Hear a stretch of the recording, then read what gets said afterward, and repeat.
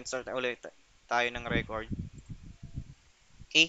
So, sa procedure, ibig sabihin, no, um, hindi mo agad siya ini-execute o hindi mo agad ginagawa tong connection na to unless tinatawag mo na siya. Okay? So, for example, meron tayong sub, uh, sub procedure na connect. Okay? So, hindi, hindi agad yan um, nagko-connect. No, hindi agad yung ginagawa yan unless tinatawag mo na yan. Okay? Okay. So, lagay muna natin kapag hindi exist yung file na yon. So, if not that file, hindi, if file, if not file, pag walang laman, that exist natin.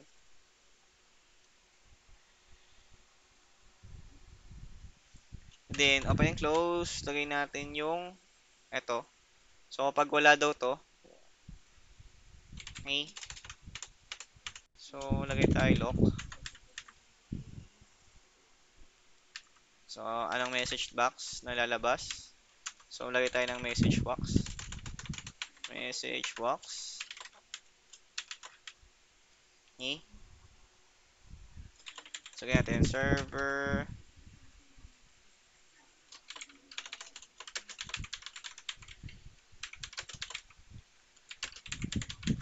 Okay? And then, lagay tayo ng style. So, lagay tayo ng message box. Message box style dot critical.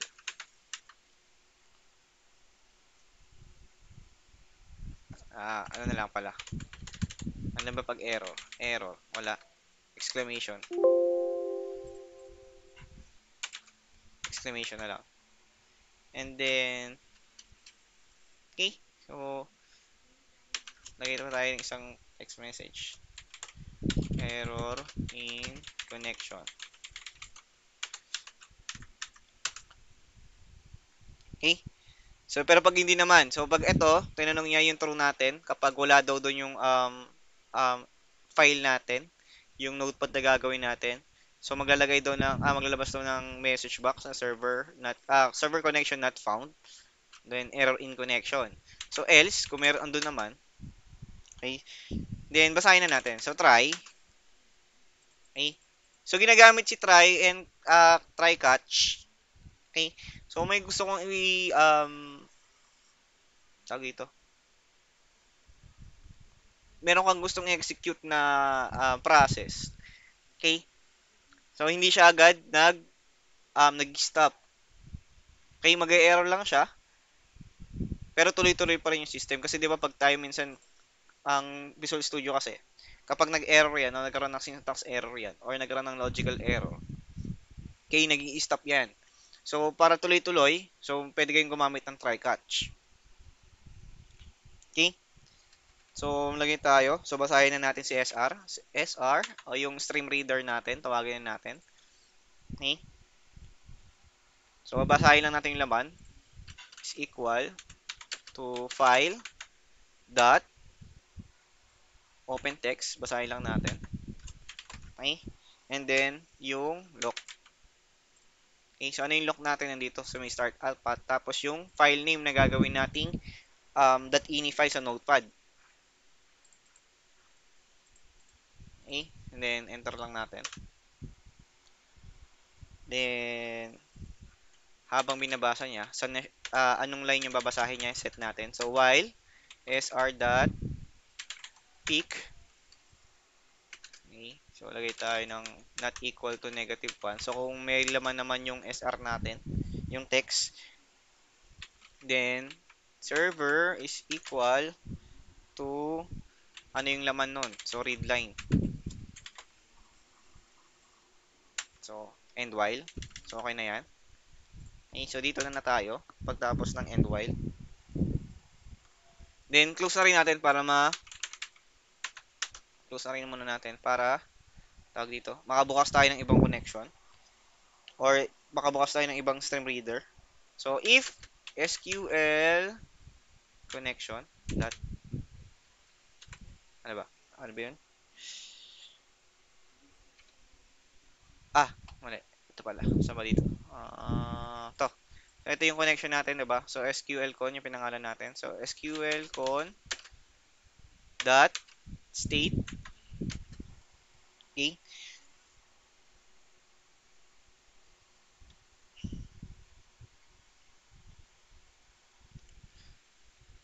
Hmm. Connection state dot open. So, pag nakabukas yung connection natin, then, close lang natin.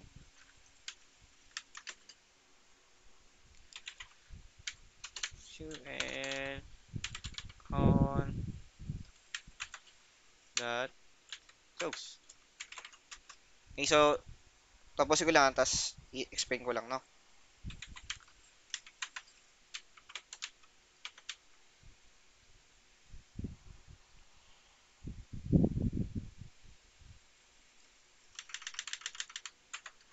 Connection string equal to laman nito, server. Palagay natin. Server.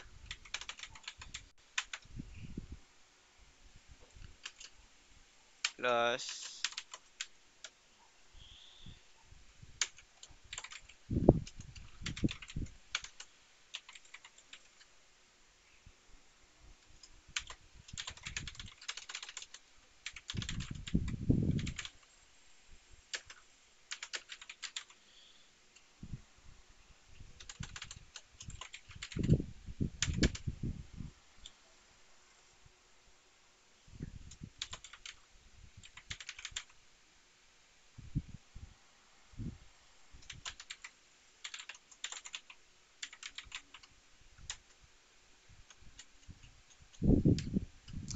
multiple active result set. Set. Sets true.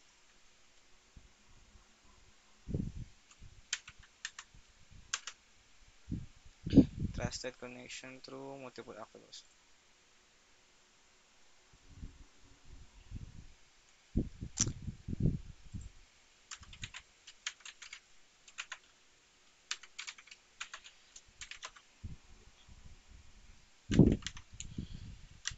Then, lagay tayo ng error message.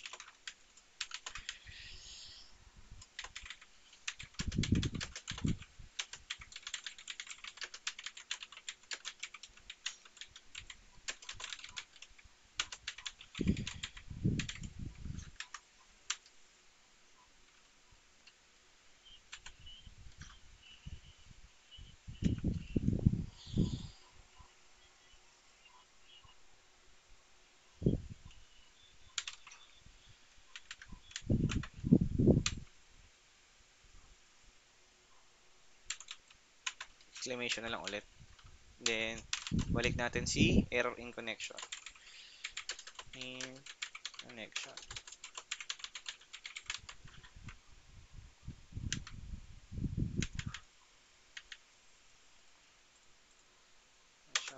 Comma. Okay, so, so discuss lang natin, no?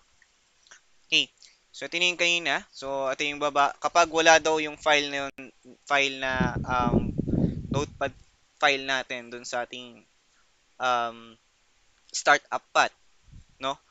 So, maglalagay daw um, server connection not found. Okay?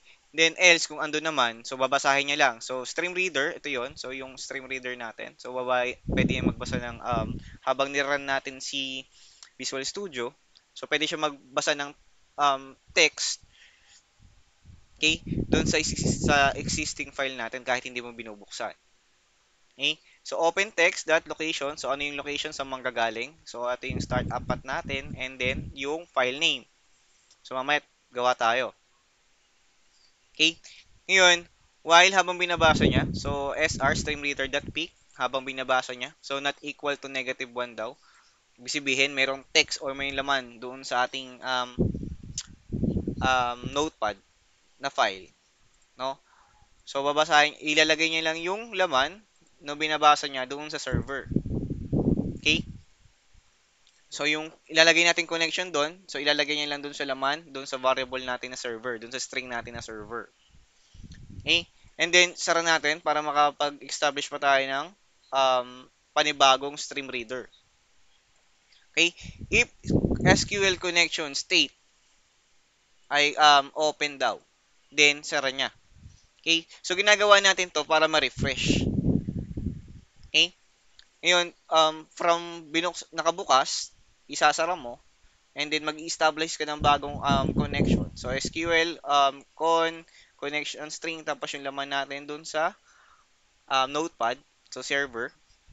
Okay? So, kadugtog lang natin, katulad dun sa um, SSMI dun sa, tag dito, sa SSMI mode ata dun sa may um, exam. Okay, so trusted connection true. Okay, para mag-connect. Then multiple active result set is equals to true. Okay, para uh, mag-view natin lahat ng um, records. So, ginagamit natin to for connections. Okay, so pwede naman yan na um, serve diretso na natin. Pero kasi pag nilalagay lang kasi natin yung connection dun sa notepad, para pag nilipat natin yung SQL or dun, ay, yung uh, Visual Studio natin or yung system natin dun sa um, ibang computer, no, dineploy na natin, no? So, hindi na natin bubuksan to. Doon ka na lang magpapalit ng connection. Okay? So, para ma-refresh, so, mag-establish ng bagong connection, then i-open nyo lang ulit. Okay? So, ginagawa lang natin to para ma-refresh yung connection natin. SQL state kapag naka-open pa rin, kasi hindi mo ma-refresh yan kapag naka-open pa yan. Okay? Para ma-refresh, close mo muna, tapos gawa tayo ng bagong connection, then i-open natin. Okay? So, kung hindi naman, yung catch natin, so ito yung lalabas. So, hindi agad-agad yan mag, um, tag to, mag i-stop. Okay? Maglalabas lang siya ng message box. Okay? So, try natin. So, tawagin natin si connect, yung sa procedure, sabi ko nga kanina, yung sa procedure natin na connect. So, hindi yan gagana hanggang di natin na tinatawag. Okay? Ngayon, tatawagin natin siya. So, maglalagay pa rin tayo dito ng imports, dot system dot data dot sql client so import system dot data dot sql so kahit ano naman dyan sa tatlong yung sino mo una dot system dot io Sir. yes po Okay lang yon kahit hindi nauna yung isa dyan. Oo. Kahit balibalik ka dyan. oh, kahit balik-balik ka Ah, okay po. Sir, yes po applicable po lahat to sa ano, system na binigay niyo sa amin? Mm. Ito pa lang naman kasi connection pa lang naman tayo. Okay? Pero kung ginagamit niyo ay MySQL, so iba yung tawag doon. Pero ibis na uh, may S, uh, SQL client lang yung tatawagin nyo, lagay mo na ng MY sa, sa unahan. Pero applicable po lahat yon Okay? Pero yung sa kanya Sir. kasi, yes po. Yung ini file po ba yun yung yung nakalagay yung pangalan ng server Oo, yun yun. sa loob? Mm Ah, okay. Okay? So, hindi pa tayo gumagawa. Okay, so tatawagin lang natin muna si um, connect. Okay, so wala pa tayong ginawang ini file, no? So, run natin. So, yun nga dahil sabi ko nga, hanggat hindi mo sinatawag yung sub-procedure na connect, hindi niya i-execute yun. Ngayon, yung pra, uh, private sub na login underscore load. So, pagbukas ng form ng login, so ano daw gagawin niya? So, i-establish na daw yung, ah, gagawin niya na agad yung process na connect. So, run natin. Dahil wala pang file doon, so, server in connection at 12. So, error in connection. Okay? And then, palabasin na natin siya. Um, gawa tayong ini file. So, punta tayo ng um, notepad. Okay. Ante, ganito na lang. So, para mabilis. Kuha tayo dito. Okay, so Macbeth POS. So, makikita natin yung ini file na yon sa mismong folder. Sa bin, sa debug, and then, ito. Okay. So, copy na lang natin to. So, copy natin yung file. Okay. And then, so para mapunta tayo dun sa startup path nung ating um, ginagawang system. So, pwede tayong mag-right click dito. Okay. and then open in File Explorer. Okay? So, ito yung um, SLN, ito yung solution name natin. Okay? Ngayon, yung pinakalaman niyan, nandun sa mismong folder natin na JOS. Okay? So, ito yung um, mga um, parameters. So, for example, meron na tayong login na form. Ayan, login.bb. Then, ano ba yung code niya? And then, meron tayong module. Okay? Then, may may.app tayo. Ito yung XML configuration natin. Okay? So, lahat ng ginagawa mong form, pag nag-add ka ng form, module, or etc. dataset, so, napupunta dito. Okay? And then, punta tayo dun sa bin. Kasi ito yung startup path. So, yung debug. So, paano siya mag-run? So, dito. Okay? So, lagay natin. And then, pangalan natin to ng um, um, connection. Okay? Then, ano ba yung laman yan? Yung connection natin. Okay? So, ano ba yung file type niyan? Properties lang, .ini file. .ini. So, ibig sabihin, uh, imbis na .text yung ilalagay mo as um, notepad, so, lalagay mo lang .ini. Okay? Para magkaroon siya ng um, zoom mo to. Okay? Makikita nyo naman yung parang gear sa may gilid. Okay? Para magkaroon siya ng ganun, isi-save natin siya ng .ini file. Ngayon, ano ba yung nasa loob niyan? Okay? So, server, ito yung server name natin. So, punta tayo ng connection. Okay? So, server name. So, copyin nyo lang to. Copy. Connect nyo ulit. Balik nyo lang. Tapos, ilagay nyo siya doon sa equal. Then, separated by semicolon ha. Okay? So, same lang. Kaya nakalagay. Ah, kaya walang changes. Ngayon, kung ano ba yung gagamitin nating database. So, anong ginagamit nating database ang manggagaling? So, ito nakalagay, MacBetDB. So, palitan natin yan. Okay? So, hanapin natin si SAD. SAD lalagay natin. Kasi dun, ito yung ginagamit natin. Okay? Ngayon, kapag, um, for example, nasira yung laptop mo or na corrupt yung file, tapos ililipat mo siya doon sa ibang um, laptop, no? So, hindi nyo na itatype to doon sa, hindi nyo na, kung um, ganito yung ginawa nyo, hindi na siya natin babaguhin sa mismong loob ng Visual Studio. No? O kaya pag dineploy na natin yung ating system. No? Pag nagra-run na siya, so kapag in-install mo siya doon sa ibang computer, no, hindi na natin babaguhin yung ating um, code sa loob. Eh, sa iba kasi nag, uh, ginagawa, yung connection, naka-hard code dun sa loob. So, ang mangyayari, kapag inilagay mo siya dun sa ibang PC o dineploy mo na siya sa ibang PC, nagkakaroon ng debug or error in connection. Kasi, hindi naman ito yung ginamit mong server name. Kasi kapag pumunta ka sa ibang PC, no, iba na yung magiging connection mo doon sa, um, magiging na yung database engine mo doon sa SQL. Okay? So, iba-iba po yan. For example, yung um, engine ko, so ayan, yung um, BP BBNCXR. Ayan yung aking um, computer name. Ngayon, kapag nilagay mo siya dun sa computer ni um, ni third, no? So, iba na yung connection nun. Iba na yung server location, ah, server name ni third. Okay? So, babaguhin mo na to. Dito mo na siya babaguhin. And then, um, tawag ito, iba-backup mo na lang yung uh, database, then i-restore mo na lang yung database ni third. Okay, para meron kang copy. So, tuturuan ko rin kayo paano mag um, backup ng database. Okay? So, ito na yung um, connection natin. So, save lang natin to, no? Then, save lang. Okay, so meron na tayong connection. So, try na natin kung mag-run na siya. Okay? Ah, hindi pa pa kasi tayo pala tayo naglagay ng pangalan. Ano ba pangalan na natin doon? Connection. Okay? So, lalagay natin sa module, sa globalization, ay sa may location,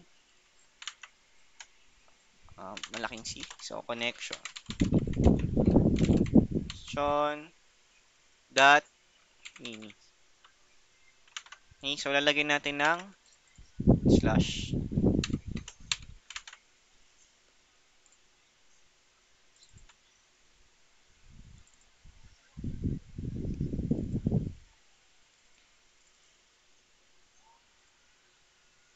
Ah, backslash pala.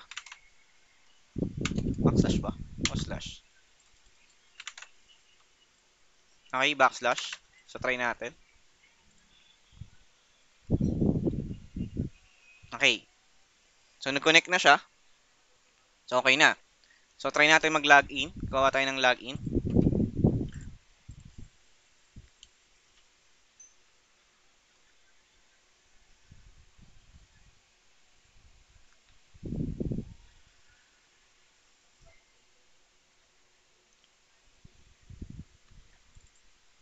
Okay?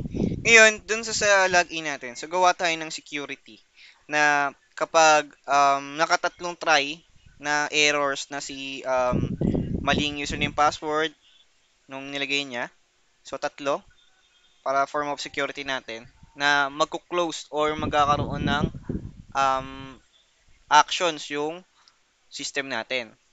Okay? So maglalagay tayo ng try number. So ito yung um, bibilang ng ating um, errors.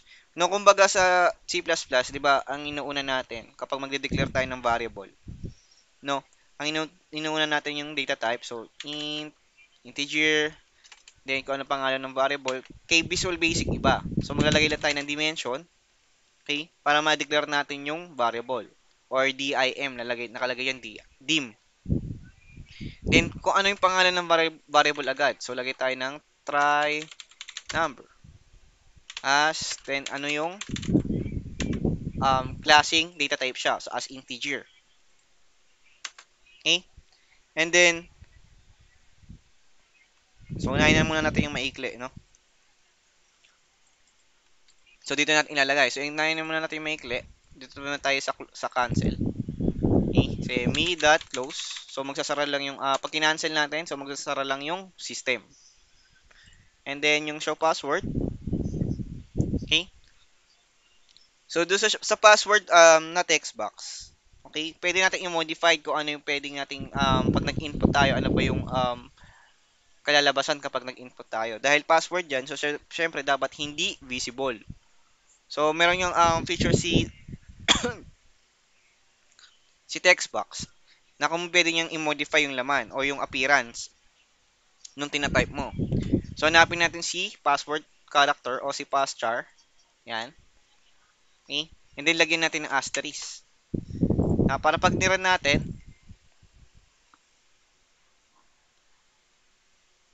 okay, so magiging asterisk yan. Okay, cancel natin ulit. And then, so kapag naka-check yung show password natin, so ano mangyayari? So dahil dalawa lang naman yan, true or false, if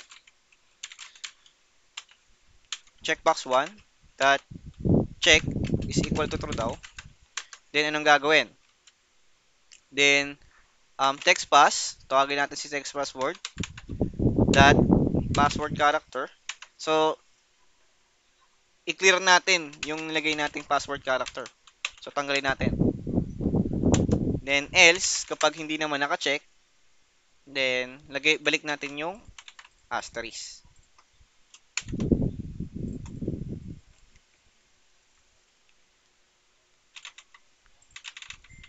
So, check, uncheck. Okay? Then, next. So, dahil, okay na yan. Mm,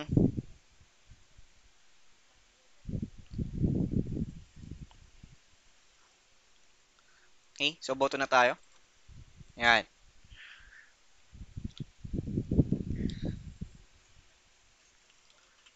So, mag-establish ulit tayo ng connection dito. So, if um, SQL con dot state ay not equal daw. So, ganyan yung symbol ng not equal, no? Connection state dot open. Then, anong gagawin niya? Siyempre, bubuksan niya lang. Uh, next. Okay.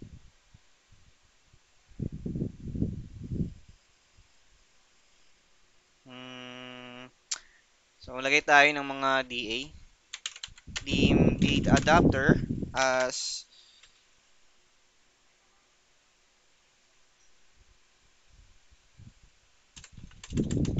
mga pwede na yun. DA. Yan, DA is equal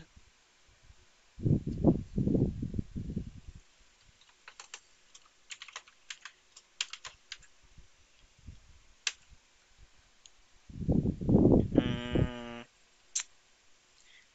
so, gamit, gamitin na natin to, si query, si select asterisk from accounts. Okay. Paste natin dito kay JOS.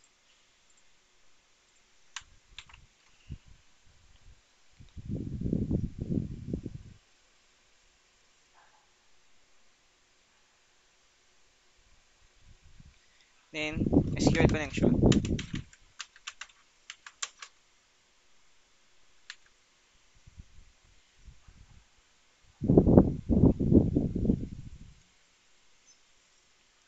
Okay, so ayaw niyang gamitin ng method. Sige na nga. DMDA as new SQL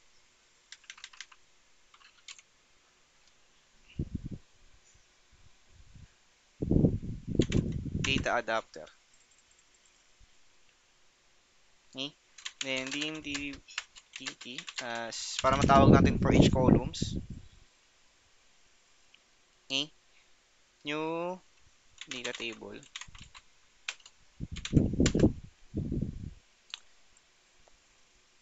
Then, so ngayon, um, ang gagawin natin, so para hindi dumodoble yung pag-read natin, kasi pag ni-read natin yan, okay, and then ni-read pa natin ng isa pang beses, no, kung tatlo lang yung um, records mo, so magiging anim, uulit. So para maiwasan natin yon so kiniklear muna natin yung laman. Saka natin nalagyan ng laman. So dtig.clear, para matanggal muna natin yung mga laman. So, sooner or later, may, ma, makikita nyo yung example niyan. Dito kasi hindi natin makikita yung ating table. And then, um, yung data adapter natin, ito yung actions natin. So, ano daw yung gagawin niya? So, DA dot ilalaman niya lang doon sa ating data table. Okay, ito yung actions natin. So, pagbasa tayo ng select asterisk from accounts. So, babasahin daw niya lahat yon, Di ba? Pag select asterisk from accounts. Okay. Ngayon, gagawa tayo ng pansamantalang lagayan. Saan natin ilalagay? Doon sa data table. Sa DT. Okay. So, yung laman ni DT, para hindi dumodoble, so, lalagay muna, ay, tatanggalin muna natin lahat. Okay. Then, saka natin ilalagay, ilalagay yung laman na binasa natin dun sa date, uh, SQL date adapter natin. Okay, which is ano yung nakalagay doon? Si select asterisk from account. Then, lagay na, na tayo ng result. Yung result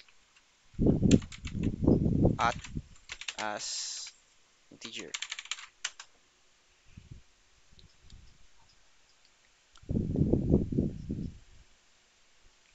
Okay. Then, naka, um, green si result at kasi hindi pa natin ginagamit. So, basa na tayo ng ating um, each um, each field doon sa ating table, no? Si mga babasahin na natin yung mga user ID, username. So, paano ba natin gagawin 'yon? So, maglalagay tayo ng 4 i. So, ito yung bilang ng ating um, bilang ng ating tawag ito field. Okay so 0 1 2 3 4 5 6 7 8 so lagi tayo nang start sa 0 so 0 1 2 3 4 5 6 7 8 so imbis na meron tayong 9 na column so bilang niyan hanggang 8 lang.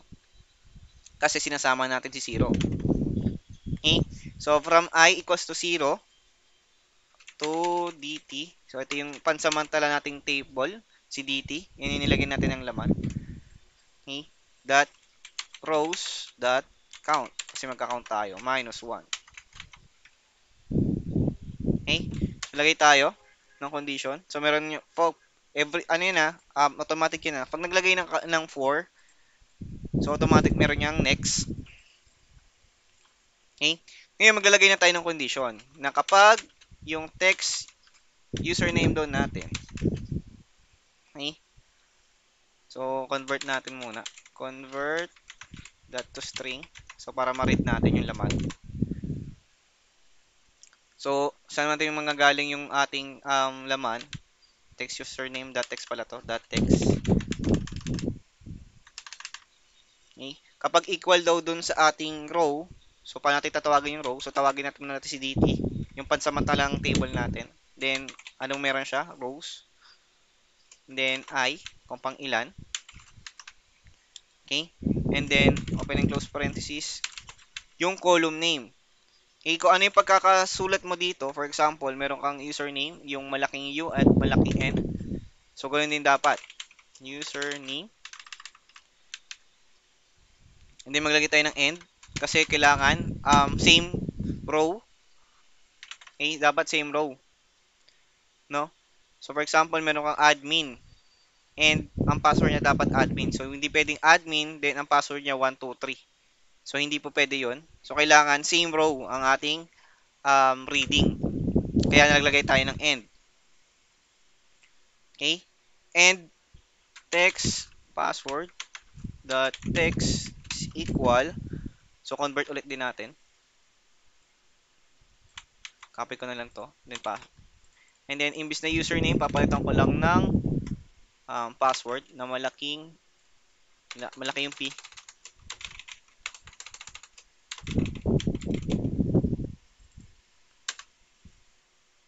Then, ano daw mangyayari?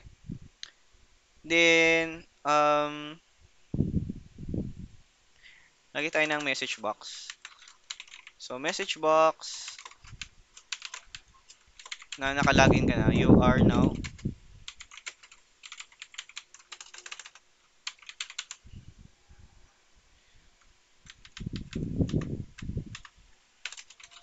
Passions na lang natin. Lagyan natin ng welcome.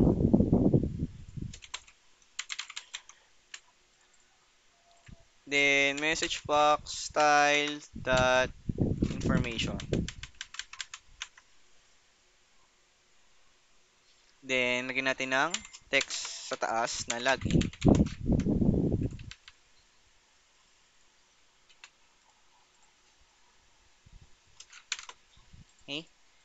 And then, syempre, tawagin natin si result dahil meron naman siyang result. No? So, result at is equals to 1.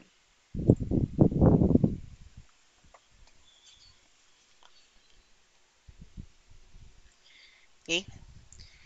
So, try natin. So, meron tayong um, admin. Admin din yung password. So, lagay natin admin. So, admin din yung password. Then, okay natin.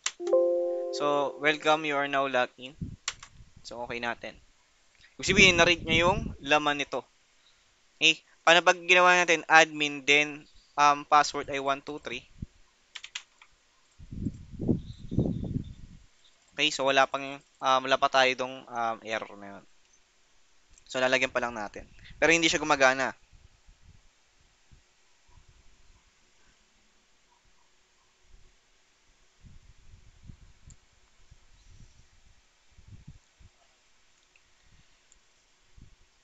Hanggang ano oras ba tayo? For sure. Oo, sir. So, tapos na lang pala natin to, no? 30. Okay, sakto lang. Okay, so cancel na muna natin ulit. So, maglagay na tayo ng um, panibagong ating um, Sir, yes po. paano po yung ibang admin po, sir? Paano ang ibang Di ba admin? po, dal- dalawa po yung nakalagay po sa SQL, di ba? Mm. Ano yan, sir? Copy-paste na lang po ito, sir. Para ganun na lang po uli mangyari. Paano, Makapasok po yung isang account. ah, ilalag in, ah, sige, ganito na lang gawin natin. So, di ba dalawang admin? Tama? Yung isa, Opo, admin, sir. admin Opo. username. Yung isa, owner. Pero admin yung user type niya. Sige, ganito na lang gawin natin. So, indicate natin kung um, kung sino yung nakalagin. Di ba yung isang admin natin si Chito, yung isa si Marky. Tama? So, indicate natin kung sino yung nakalagin. So, palabasin natin yung pangalan niya. Okay? So, balik tayo ng module. Okay? So, nakalagay natin yung first name sa last name. Gagamitin na natin yan. Okay? So, balik tayo sa may login. Ah, bago yan. Lagay natin to. Okay? So, hindi tatawagin lang natin yung first name, ah, ano ba yan?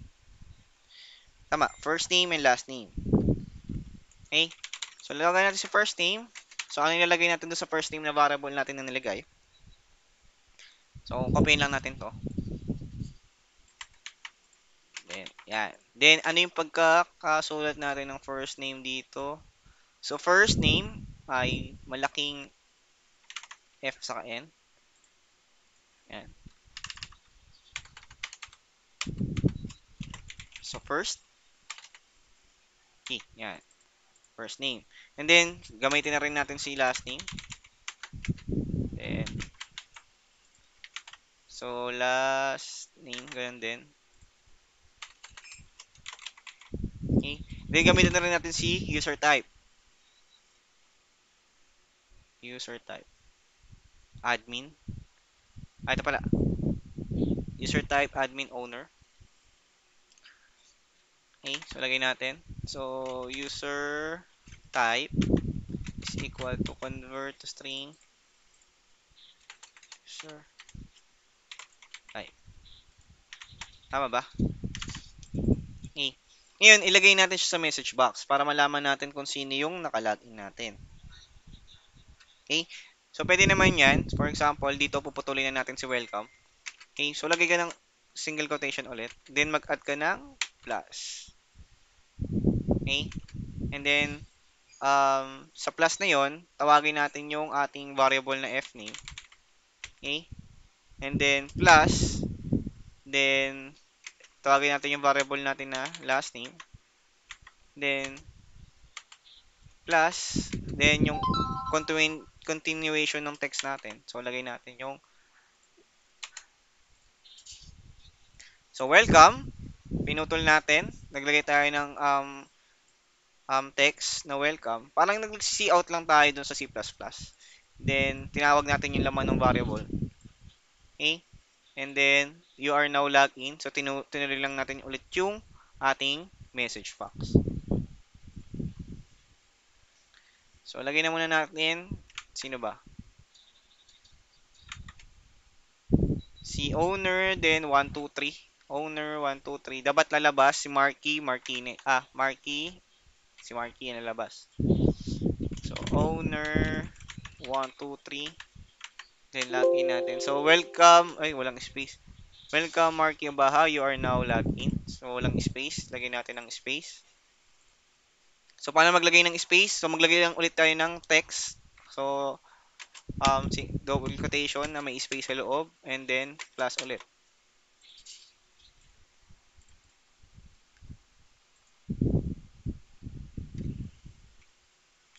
Then, owner. So, 1, 2, 3. So, yan. May space na. Okay? So, hindi pa dyan natatapos yung ating login. No? So, maglalagay pa tayo ng pang, pang password.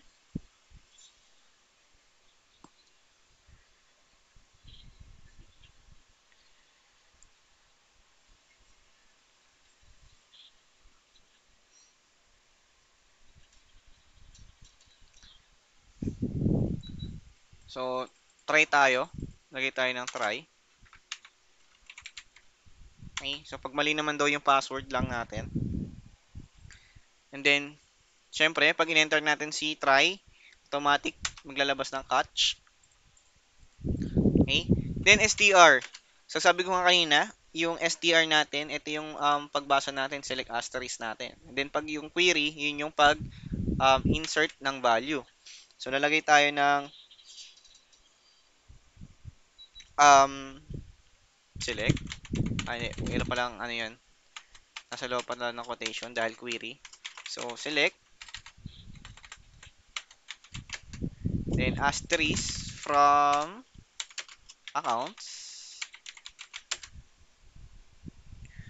So, where, dahil password siya, where password is equal at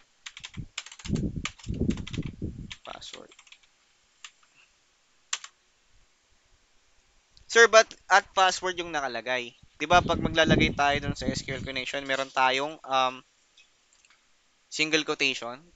Okay? Kasi hindi natin matatawag yung single quotation and then value. No, hindi natin kasi matatawag siya dito sa ating um, text. No, kapag naglagay tayo ng single quotation yan, so hindi niya binabasa yan. Magkakaroon ka ng um, error. Sa kapag, for example, um, specific yung ginawa nating um, ayan, so hindi na natin mapapalitan yan. So, kailangan to value. For example, um, password admin 123. So, kailangan yun value. No, dapat yan admin tas 123. So, ibig sabihin, kung ginamit mo yung um, admin, so hindi mo na pwede gamitin yung 123 na password. So, hindi na makakalagay yung iba. Kaya ginawa natin, yung may at password, sabihin, temporary na variable lang natin yan o temporary na lagayan. Okay? So, gumawa ulit tayo ng temporary na lagayan. Kaya, um, tawag po kasi dyan ay parameters. So, parang temporary lagayan lang natin yan. Okay? So, paano ba natin gagamitin yung temporary na, uh, temporary na lagayan natin? Wait lang ah.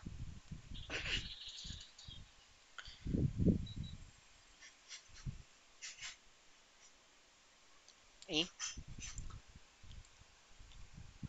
So, yun yung query natin. No? So, gumawa muna tayo ng command o utos. So, ano ba yung gagawin niya ni, um, ni Visual Studio habang um, kinocommand natin siya. So, maglalagay tayo ng, dahil mag-establish tayo ng ulit ng bagong connection, new SQL client client okay kapag may SQL so my SQL client yan then pag SQL command. Wala. Okay. So ganun din. Kapag may SQL may SQL command din. Then lagay mo natin yung str ano ba yung utos mo gagawin sa kanya? Ito yung str natin. Gawin mo yung str na yan. Okay? Using yung SQL connection natin na naka-open. Okay? So, yun yung utos natin. Ayan yung command natin. So, lalagay tayo ng with. Ah, with. With yung utos natin. With CMD. Okay? So, ano ba yung nakapaloob dun sa utos na yon? Okay? So, tatanungin lang naman natin kung um, i-verify lang naman natin kung yun talaga yung laman. Okay, dot parameters. Okay. Dot add with value. Okay. At username. Okay, huwag kayong mag-align dahil yung add with value na yan, hindi naman siya um, mapapalitan kung ano yung nakalagay doon. Okay, kasi ang as, unless ang ginagamit natin ay select, okay, hindi mapapalitan yung value niyan. Kung gagamitin nyo ay insert at gumamit kayo ng add with value, doon yun mapapalitan. Okay, so ang query lang naman natin ay select asterisk for viewing lang naman. Okay, para makulang natin yung value nitong um, nilagay nating text doon sa username at mag-match lang ulit siya ulit doon sa ating table. So, ginagamit lang natin si parameters.add with value. Pero kung select lang yun ha, pero kung insert yung ginamit nyo, tapos gumamit kayo ng add with value, yun na yung magpapalit, mapapalitan yung ating um, laman doon sa loob. So, text um, username dot text. So, i-verify lang naman natin yan. Then, ganun din sa password. Okay. So, pass, ah, text pass pala text password dot text okay so end with so okay na yan then dahil nag-stop Sir, yung at username nung password. Ay. At password na yun. Pala. At password. Password.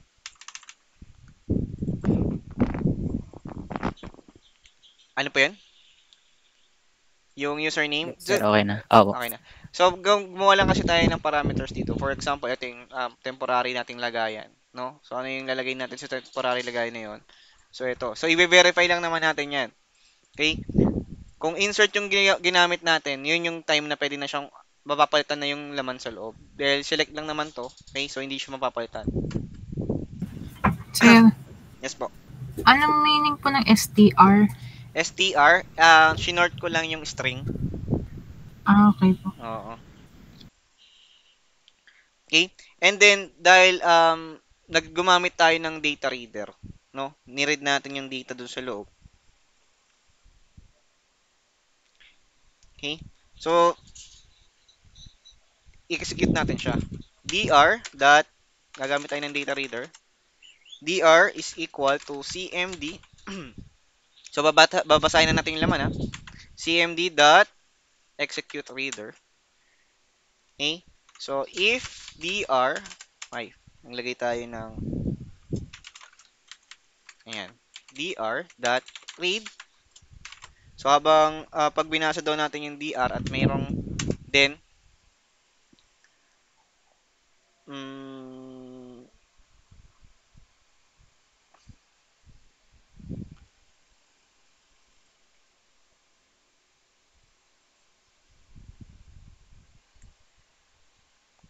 So, dito natin nalagay yung ano eh. Um, lagay mo natin ng comment. Ah, dito natin lalagay kapag meron na tayong um, form 2 o yung tinatawag nating um, dashboard or menu form. So, dyan natin, dyan natin ilalagay dapat. Okay? So, dahil wala pa tayong form nun, so wala muna tayong ilalagay dyan. So, end if na muna tayo. Okay? sa ME uh, and if Okay, so nag-establish tayo ng connection. So para magamit natin ulit yung connection natin saka yung CMD. Okay? para natin magamit natin siya ulit. So sara natin. So CMD dispose. Okay, kasi kapag naka-open lang 'yan, no, hindi ka na makakapag-establish ng bagong connection. And then close lang natin. Okay, for verifying password lang 'yan, ha. Okay? And then, um, catch. So, maglagay na lang tayo ng example message. Message box. So, X message na lang natin. So, and try and if.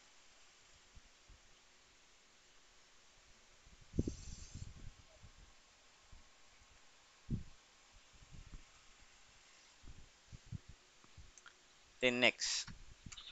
Okay? So ano yung gagawin niya na ng next kapag um, hindi nagtugma or um, yung password natin. Okay? So yung result at natin, meron na tayong 1 dyan. Okay?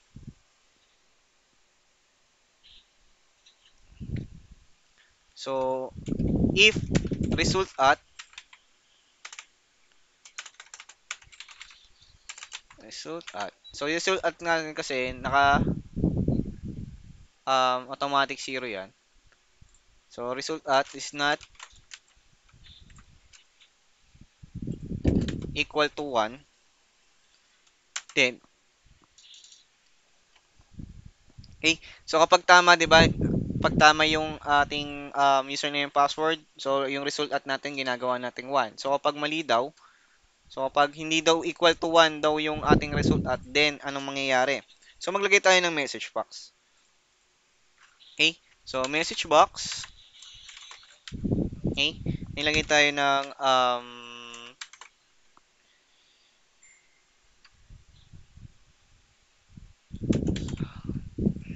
ano ba?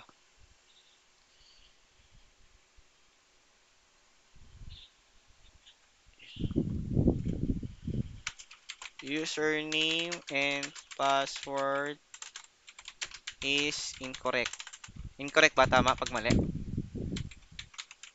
Incorrect. Sir. Then, ah, lagay tayo ng please check your credentials na lang. Credentials. And then, um, so message box style, lagay tayo. Style dot exclamation. Then, ngayon tayo ng um, Dahil nasa login tayo, so lagay natin login pa rin. Then, try number. So, yung try number natin, yung kanina. Yun nga sinabi ko, yung pagtatlo. So, ito meron na siyang isang mali. So, maglalagay tayo ng equals, ah, di, plus equal to 1. Okay, so pwede naman kayong maglagay dyan ng, um, simple example, gusto nyo maglagay ng um, audio o mga .wav file. No? So, pwede naman. Okay? Basta, um, alam nyo lang kung nasaan yung ating, um, meron ba tayong example dito?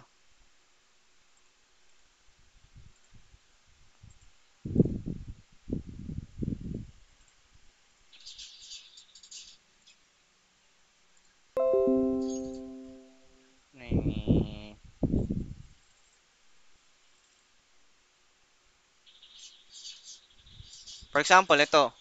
Nice work. Ito kasi hindi nyo marinig kasi naka-share, ah, naka, ano lang ako, naka, tawag dito. Naka-screen mirror lang ako, no? So, lagay natin. So, copy ko na lang, no? Then, lagay ko na lang dun sa ating folder ng JOS. Ayan. So, pwede natin copyin yung file path nito. No? Ay. Ba't yun? Okay. And then, that what, uh, tandaan nyo yung file type name, ha? Para lang tayo tumatawag sa, um, bakit, lang.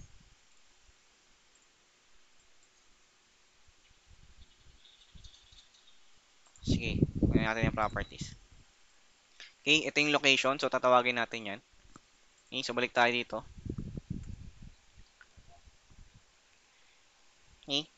So, file type niya .wav. So, tatawagin natin yung um, ating my computer. My dot computer. Okay? Para matawag tayo or makapag-export tayo. Okay? Then, dahil audio siya, audio.play. Okay? So, lalagyan natin sa open and close parenthesis kung ano ipi-play natin. Okay? So, doon sa open and close parenthesis, maglalagay tayo ng quotation. So, copy natin yung file path. Ito yung unang file path natin. And then, yan. And then, backslash, yung file name. So, nice work. Nice work. Dot. Then, kung ano yung um, file extension dot wav. Ay, ba't nice work yung nilagay ko? Dapat pag login pala yung nice work. So, yaman na. Pero, ayun may example natin. Then,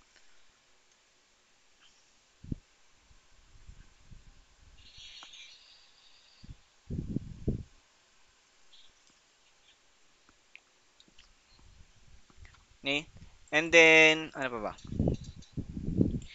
Okay. Then, maglagay tayo ng if try number is equal or greater than 3. Ah, greater than or equal to 3 pala. Okay. Then, um, lagay tayo ng na-reach na na yung ating ano, message box na um,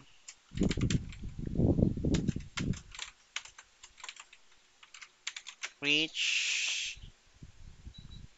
ah you have reached na lang.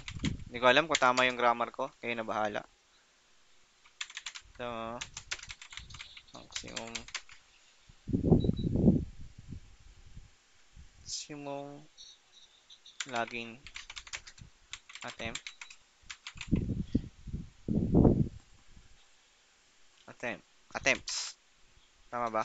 Attempts. Then system will close. Close. Then lagay tayo ng yan. Then message box style dot exclamation. Then comma. Then shutdown. Lagay natin. Shutdown. Then me dot close